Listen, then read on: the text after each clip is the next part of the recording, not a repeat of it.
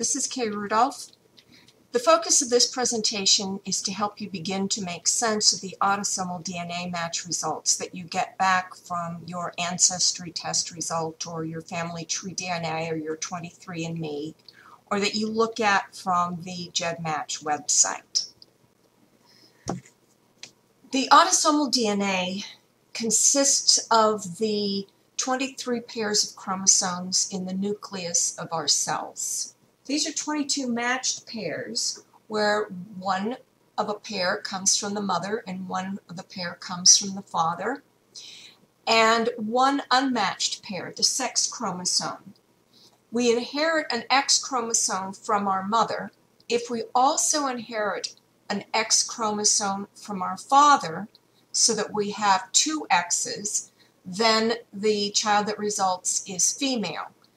If the father if the father's sperm contains the Y chromosome instead of an X, then the child that results will be a male. Well, we inherit exactly half of our DNA from our mother and half from our father, and they in turn inherited half from each of their parents. That is not to say that we're going to inherit exactly 25% of each of our grandparents. Why is it that we don't get exactly 25% of our DNA from our paternal from each of our paternal grandparents? The reason has to do with recombination. And that is that in those 22 chromosomes that are not the sex chromosome, each parent has a pair that they received from their parents. So this, for example, would be your father's chromosome 1. Your father has one pair of his chromosome 1 came from his mother and one pair of his chromosome 1 came from his father. In the process of forming the sperm cell, these two chromosomes that form the pair line up and recombine, trade parts of each other so that the chromosome 1 that is sent off in the sperm cell to fertilize the egg is some combination of both those chromosomes received from the uh, father's mother and the father's father. So you're going to have, yes, 50% from your father, but you may have 20% from your paternal grandfather and 30% from your paternal grandmother. In other words, what you're getting is some mixture of these earlier generations. And each generation, this recombination occurs. So you want to liken it to essentially a bowl of stew.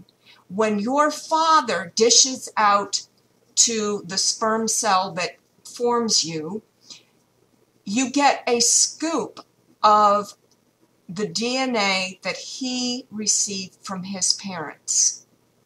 You do not get an exactly proportional amount of each one of these earlier ancestors.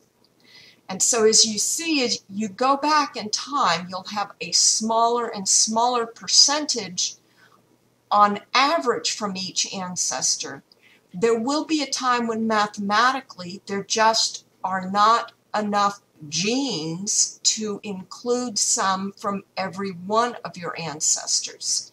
So you see here in our illustration of the uh, spoonful of stew that the ancestor that contributed the potatoes has not been passed down at all.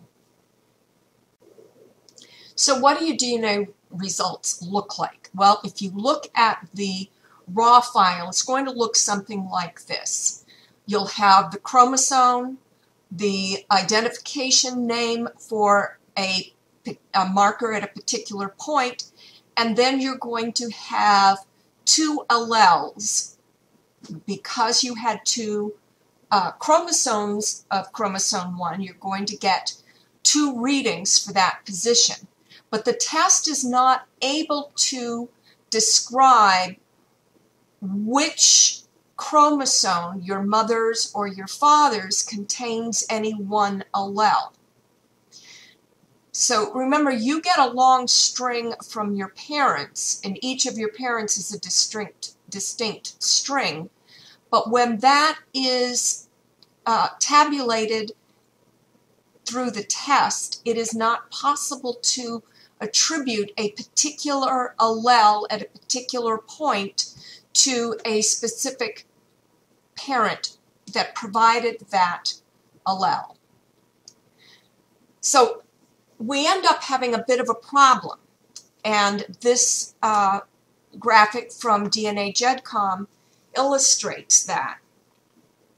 The test is going to say, all right, looking at your chromosomes uh, results, you have two G's at this particular point. So you're looking to see is there, or the computer doing the analysis is looking to see in the person you're matching, is there a G? And yes, it finds one. So it says that's a match. Then it goes to the next position and we've got a G and an A. Do you have a G and an A down here?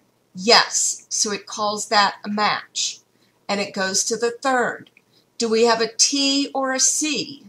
And it finds yes, we have a T. So it calls that a match.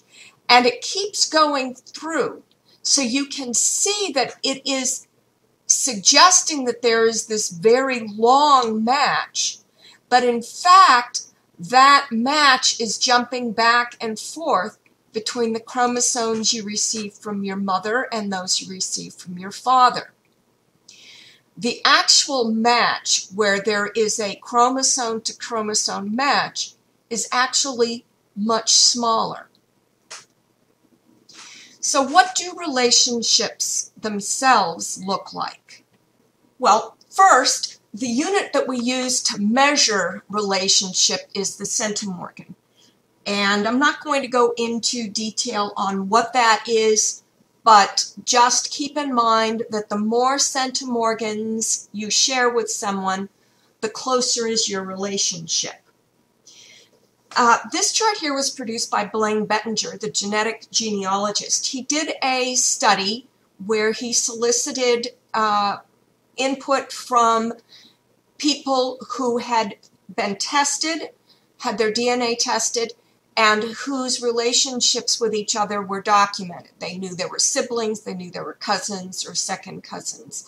And so he looked at the distribution of the relationship results you can see that they tend to follow your fairly normal bell curve shape.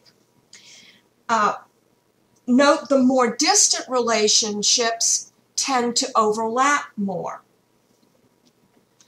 From this, he created a very useful chart that gives you the expected centimorgans shared and the distribution that he discovered empirically from the test results that were submitted to him and the average of those uh, distributions. So let's take a look first at a relationship between a son and his mother. The son has 6,800 centimorgans, about 3,400 coming from each parent. And this is what you would see if you looked at the chromosome matcher on GEDmatch. It is showing that we have uh, the blue stands for matching segments longer than 7 centimorgans, that is statistically significant matches. So there is an entire match across every chromosome. Well, that's to be expected because, as you recall, the test is just looking do you have at least one of the amino acids that are at a particular position on one of the matching person's chromosomes. And since you got one entire chromosome from your mother, you're definitely going to match every single one uh, of your chromosomes with one of hers. Now, the green stands for full base uh, base pairs with full match, and that would mean that you match both the mother's chromosome and the father's chromosome. The yellow is base pairs with half match, meaning that you match one chromosome, and that would be expected. So when we look at the uh, chromosome browser on Family Tree DNA, and here we're comparing Pat with her two sons, Louis and Davis, uh, Louis and Jean, you can see that yes, she is a complete match with both of her sons. But now let's take a look at the two brothers compared to each other. And you can see here that they do have very strong matches, but there are long segments where there is not a match. So we're looking at Gene here. The orange is segments that he has in common with his brother.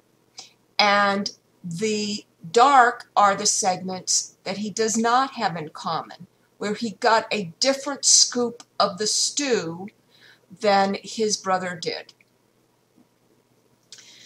When we look at the numbers on the Family Finder match screen, you can see that Gene matching his mother at 3,384 centimorgans. That is half of the 6,800 that he has himself. Whereas with Louis, he's got about half of a match, but it's not quite as precise.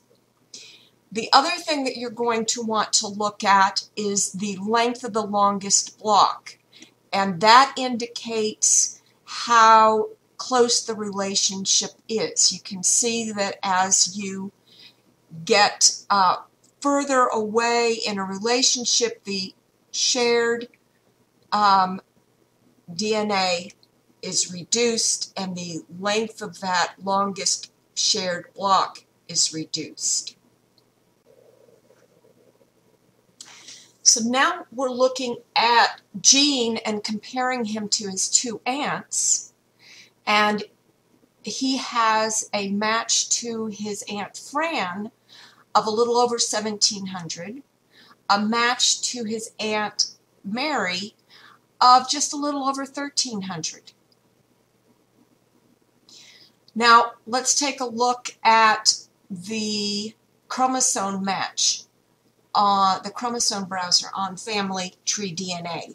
You can see the uh, Jean is being matched to his two aunts, and so you can see where he is matching each of them in very different parts of their uh, DNA. Each of these represents one of the chromosomes.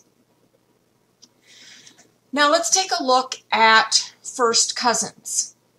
On the data that Blaine had collected, he found a range of first cousins matching from as little as 83 centimorgans to as much as 1,559 centimorgans, with the average from the results that he'd collected of 881 centimorgans. The calculated amount would be about 850 centimorgans. So 850, his uh, empirical data shows very close to that, and you can see a very wide range in actual results for individuals who are indeed first cousins. So here we're looking at uh, Jean with his cousin Heather, and they only match on 754 centimorgans. Significantly less than the 850, but they are most definitely first cousins. And this is what it looks like when we look at the chromosome browser, where Jean is matching Heather. You can see that on chromosome 6, they no longer match at all. On several chromosomes, they're only matching on one significant uh, segment. So you can see that as the recombination is going through generation after generation, you are going to start losing uh, ancestors from your DNA. Let's take a look at a great uncle, uh, great aunt compared to a test person. Uh, Blaine's chart shows that he would uh, expect it to be around 12.5% or around 850 centimorgans.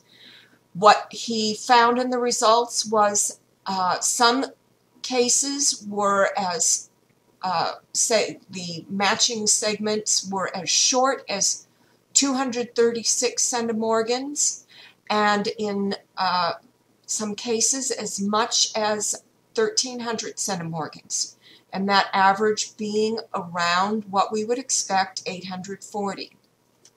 So we can see here looking uh, Jean matching to his great aunt Jewel. She matches him at 521 centimorgans. And when we look at the chromosome browser, we can see that we have now uh, no match at all on chromosome 7, no match on chromosome 10, 12, 13. So the more distant the relationship is, you're going to see fewer chromosomes that match for shorter segments. As you get further out into the uh, more distant cousins, you see that it becomes very difficult really to tell them apart. Uh, here we have a third cousin that could have anything from zero DNA match to 334 centimorgans. Um, second cousin, uh, twice removed. Here we could have, so the difference really between a third cousin, a third cousin twice removed, it becomes very difficult to say that with any confidence just looking at the numbers. And so here we're looking at Jean compared to a more distant cousin and uh, they match on 99 centimorgans. The longest match on any chromosome is 19 centimorgans. And you can see here that they are they have a match on the X chromosome. And that's going to suggest that since Jean has, he's male, so he has the X chromosome that he has, he got from his mother because he received a Y chromosome from his father. That suggests that Beverly Allen is matching Jean on his mother's side of the family. And when we look at uh, Beverly's family tree, we can find the match because we have documented these relationships. And the match is with the Rudder family. Beverly's grandmother, Mary Rudder, is uh, close, is in the family line from which Jean descends. And when we look at Jean, Douglas E. Davis Jr., he is descended from Sally Rudder, who is the daughter of William Henry Rudder and Martha K. White. And we're going to explore that and see how that relationship matches. So the DNA by itself is not going to tell you where the relationship is. It's going to tell you where in your tree you want to be looking for that relationship. And so it's going to tell you if it should be likely to be on your mother or your father's side, and it's going to tell you about how many generations back you should look. So here we have the 1880 census for William Rudder, and in his household he has his daughter Mary and his daughter Sally. Mary would ultimately become the grandmother of Beverly, and Sally would become the great grandmother of Jean. Here we have the family tree for William Rudder and Martha Wright, showing the two daughters, Mary and Sally. Mary became the ancestor of Beverly, and Sally became the ancestor of Jean. Now, here we have a summary of how those relationships are reflected in the percent of shared DNA. Let me walk you through that on the tree so you can see how that works. As you climb the family tree, as you move from one level to the next, you have a halving of the shared DNA. So Beverly gained half her DNA from her mother, Allie. And half of that came from Allie's mother, Mary. Siblings share about half of their DNA. So half of that 25% that Beverly has would be shared with Sally, 12.5%. Sally uh, shares with Doc. Doc receives half of his DNA from his mother. So Doc would have a match of six and a quarter percent shared DNA to Beverly. Minnie received half her DNA from Doc, and so she would share three and a quarter percent of her DNA with her cousin Beverly. As you can see there, second cousins have five degrees of separation one, two, three, four, five for a shared DNA of three and a quarter percent. Pat got half of her DNA from her mother Minnie. So, where Minnie matched three and an eighth Pat is going to match half of that. And Jean got half of his DNA from his mother.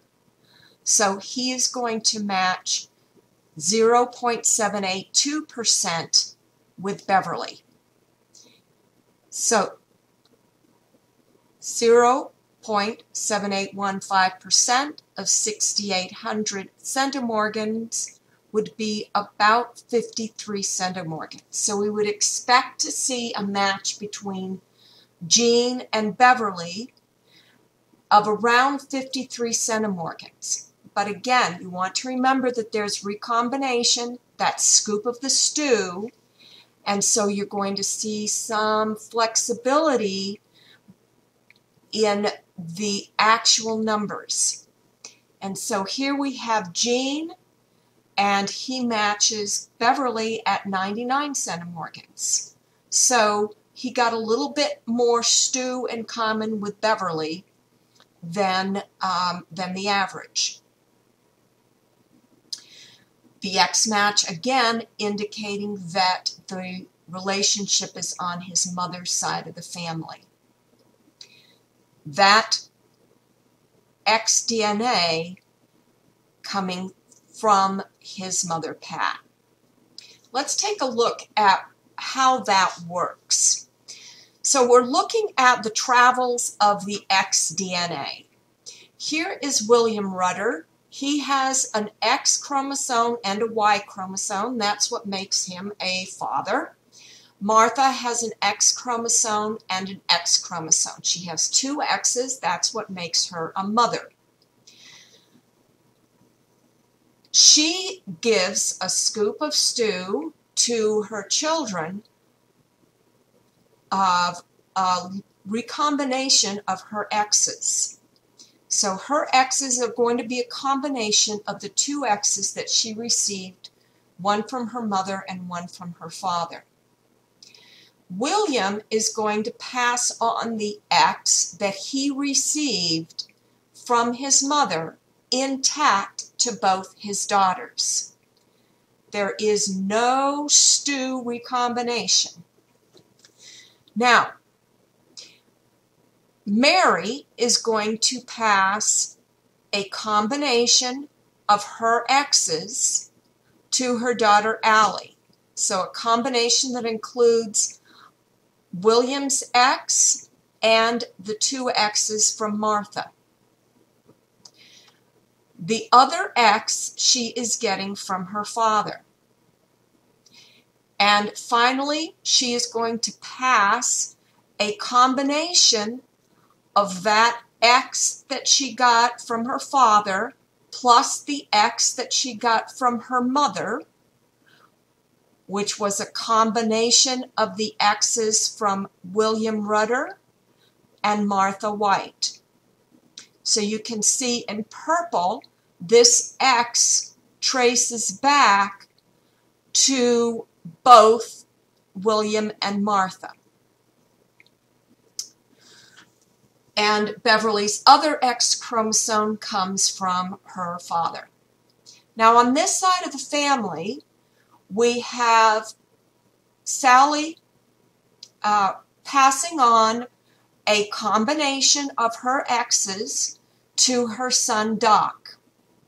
And this X here then is going to be a combination of the X from William and the X melange that Sally received from her mother Martha. Doc received a Y chromosome from his father. Now, Doc is going to pass on his X chromosome intact to his daughter Minnie. There is not going to be any mixing. It's going to be exactly the X that he received from Sally which included the combination from William and from Martha White. The other X Minnie received from her mother. Now, Pat, she receives from her mother Minnie a combination of Minnie's X from Minnie's mother and that X that came from Doc which was a combination from Sally, which included both William and that uh, melange from Martha. Pat's second X came from her father, and finally she passed on to her sons Louis and Jean that combination of uh, her two X's. So you can see both of these are having X's that get back to William Rudder and Martha White. Now here we're looking at Gene and we're comparing him to Beverly again, that's the orange, and we're also comparing him to his great aunt Jewel. Now, these are both related to Gene on his mother's side of the family. You know that because they are both matching him on the X. But you notice while they're matching him, they're not matching each other on the X. And the reason you can see here, here we have William Henry Rudder, who is the ancestor of uh, Beverly and Jean through the um, Odom Alford line. And Jewel is uh, Louis Franklin's sister. And so she is matching Jean on his mother's paternal side. Now we're going to talk about one that's a little bit trickier and I don't actually have an answer to this one, but it is eye opening in a number of respects. This is a match between my uncle David Harrigan and Christina, They share a total of 61 centimorgans, with the longest block being 17 centimorgans. And so the estimated relationship is uh, second to fourth cousin. There are a number of names that look promising, Hewitt, Hall, Thayer. When I take a look at the chromosome browser, it's interesting that there's there's on the browser there's only a single segment really that is showing up. This is quite different from the second to fourth cousin that we saw with Jean and Beverly, where they had segments matching on several chromosomes. In this case, we have just one chromosome that appears to have a matching segment. So Christina looked back in her family tree and she felt that she had found a match, but it was way back here with uh, Richard and Ursula Thayer, and that is uh, counting back 1, 2, 3, 4, 5, 6, 7, 8, 9, 10, 11, 12, 13 generations back. Now, when I traced David's uh, link to uh, Richard and Ursula, it was also 13 generations. That's 25 degrees of separation. And I felt compelled to do the math on this. Um, so the expected match would be less than a centimorgan, significantly less than a centimorgan. So it really is suggesting that we really aren't going to see matches that old, are we? We have 61 centimorgans 17 centimorgans in one long block. Now looking at Blaine Bettinger's chart, here we have an exploded view of this narrow section back here where you have very small amount of shared uh, DNA. You can see this would be about 61 where uh, David and Christina match. And so you can see he's seeing a range of results from, you know, second cousins to fifth cousins in there.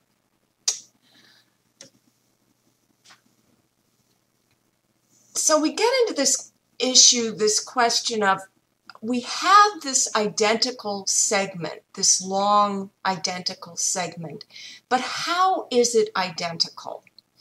And there are three categories of identical that geneticists look at. One is identical by descent. That is, that we share that common segment through descent from a single common ancestor. Another possibility is the identical by chance, that it's just a random chance.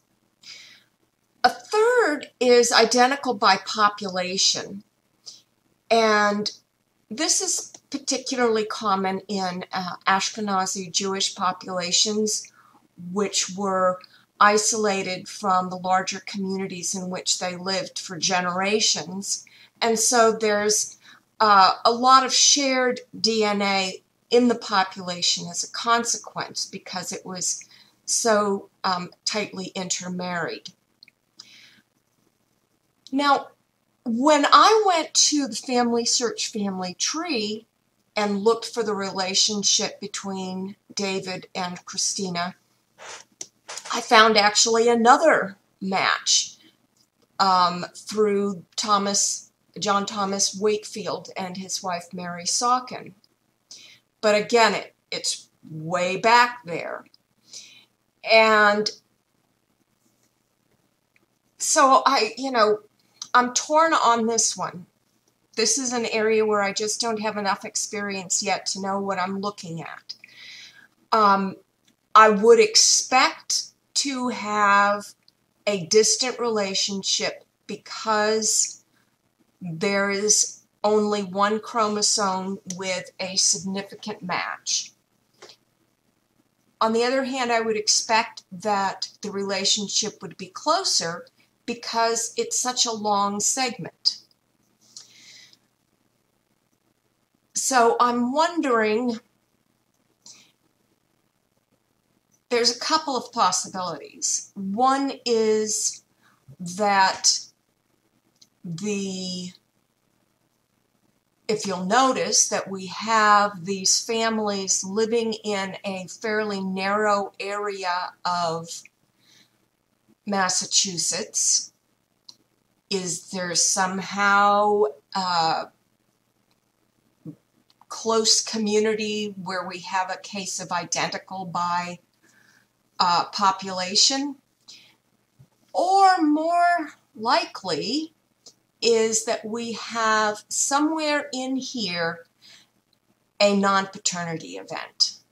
That is, our documenting, our documents show David being the son of William, the son of Henrietta, the son of Flor, uh, daughter of Florence, but there may be a non paternity relationship here that the documentation does not reflect. And that's something that we have to be aware of as we're doing our DNA testing, that sometimes you discover some family secrets. I understand that the rate of non paternity events tend to be on average 1 to 3% per generation, and that compounds with generations.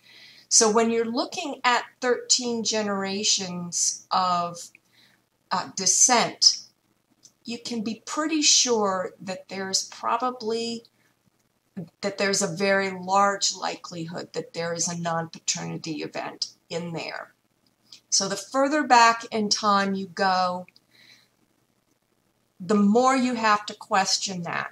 Now, the reason a non paternity event becomes a particular issue in this case is because when I looked at Christina's family tree, I saw these same locations Braintree, Taunton, Massachusetts. So, something to think about. This is just a bit of a taste to get you started to continue learning more about DNA testing and how it relates to genealogy.